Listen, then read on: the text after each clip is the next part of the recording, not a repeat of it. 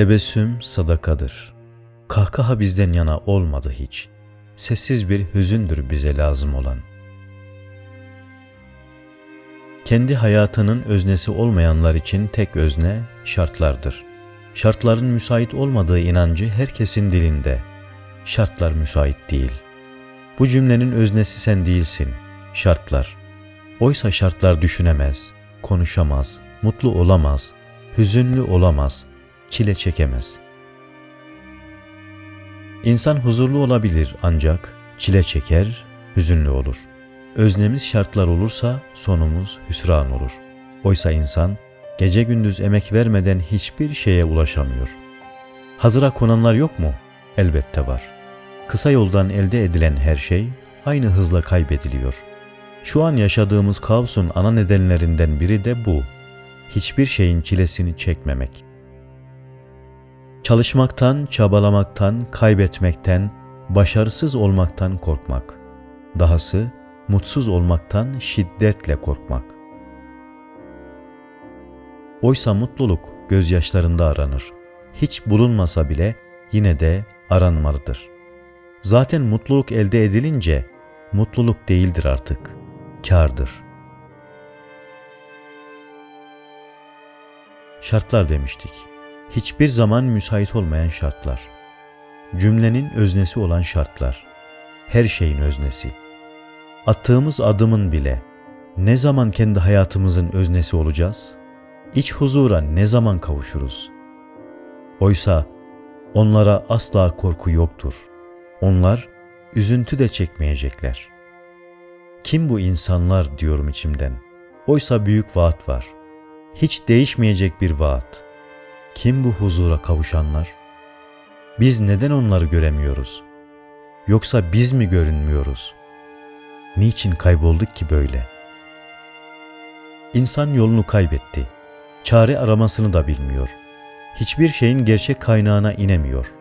Çünkü her şey aslında çok uzaklarda. Yanı başındaki insana bile sesini duyuramıyor. Kimse kimseyi tanımıyor, belki de tanıyamıyor. Uzaklıkları nasıl yakın edeceğiz? Köprü mü kurarak?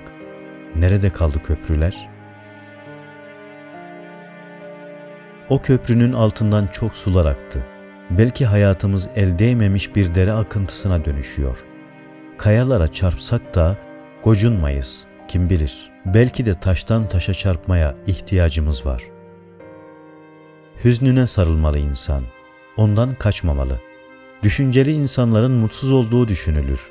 Onların durgunluğu dikkat çeker.'' neşesiz görünürler. Çünkü o an düşüncenin insanı kendine çeken gücüne teslim olmuşlardır. Hayatın hızına karşın düşüncenin insanı durduran bir gücü vardır. Hızla hareket eden ve çok sesli olan her şeyde insanın doğasına aykırı izler vardır. Gürültülü konuşmak ve çok sesli gülmek gibi. Tebessüm sadakadır. Kahkaha bizden yana olmadı hiç. Sessiz bir hüzündür bize lazım olan. Gürültüsüz bir hayat.'' Pişmanlık sessizdir. Mahcubiyet sessizce yaşanır. Sevincin sesi çok uzaklardan duyulurken hüznün hiç sesi çıkmaz. Keder gariptir. Yalnızdır çünkü. Kahkaha atanların mutlu olduğu sanılır. Gerçek hiç de öyle değildir.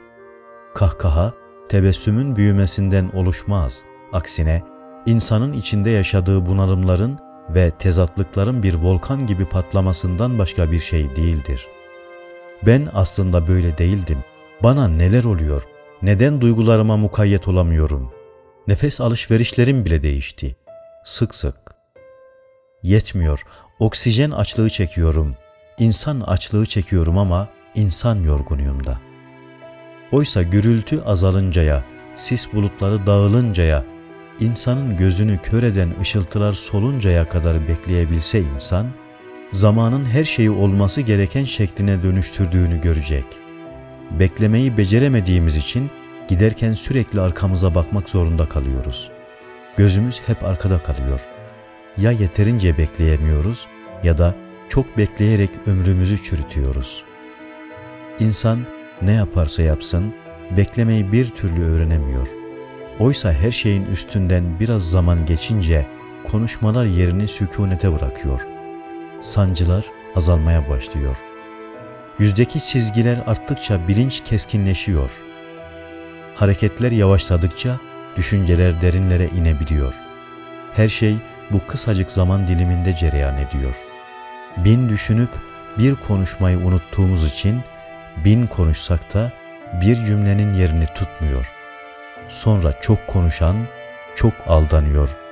Hep aldanıyor. İnsan hata yaparak doğruyu bulmuyor aslında. Sürekli hata yaparak yanlışın mahvedici yönünü törpülemiş oluyor. Hepsi bu. İnsan böylece yanlışa da alışmış oluyor. Asla kendinden emin olmamak ve sürekli içindeki korkuyu canlı tutmak. Asıl mesele bu. İnsanın en çok zorlandığı denge de bu. İki tarafı uçurum bir yol. Ne tarafa meyletsen düşeceksin. Sonra zerreni bile bulamayacaklar.